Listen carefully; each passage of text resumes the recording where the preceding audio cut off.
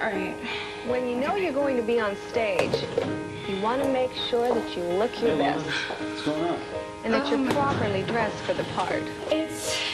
I'm freaking out. Appearance was especially I don't know what's important to a gentleman on. named Hugo Ball. The He was a company's poet and a leader of an it artistic movement. Be like useless this having it. They just fired Stacy from accounting which and Mikey from sales. Kawani Jolifanto Blumba Ofali Hambla. Grossiga me pafla habla hormi gaga golmen. Hai gloglo aikora sula huju. Holaka holala. An logo bang, blago bang, blago bang baso futaka. Ooh, ooh, ooh. Shampa This is so ubana shitty. wata. Olobo.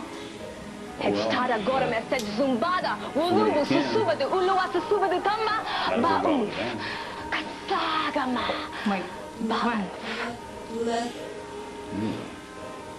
Are you serious?